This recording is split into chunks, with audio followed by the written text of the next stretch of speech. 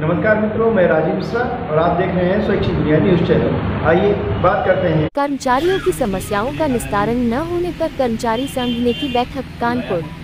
उत्तर प्रदेश नगर निगम विकास प्राधिकरण एवं जलकर विभाग से युक्त वाहन चालक कर्मचारी संघ के प्रदेश अध्यक्ष विनोद कुमार ने प्रेस वार्ता में जानकारी देते हुए बताया कि कानपुर नगर निगम से सेवानिवृत्त, कार्यरत समस्त संवर्गों को कर्मचारियों की लंबित समस्याओं से अवगत कराया कि कानपुर नगर निगम प्रशासन एवं शासन से 24 सूत्रीय मांगों को लेकर बैठक की।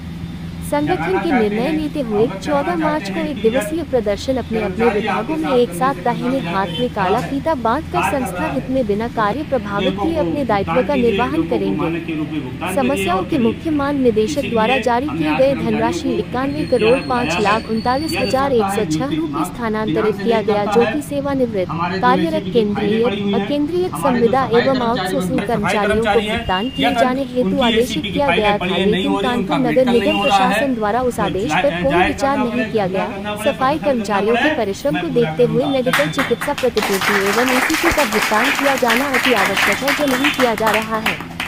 वर्कशॉप विभाग के लंबित शून्य एक से शून्य नौ तक समस्याओं का निस्तारण नहीं कराया जा रहा है।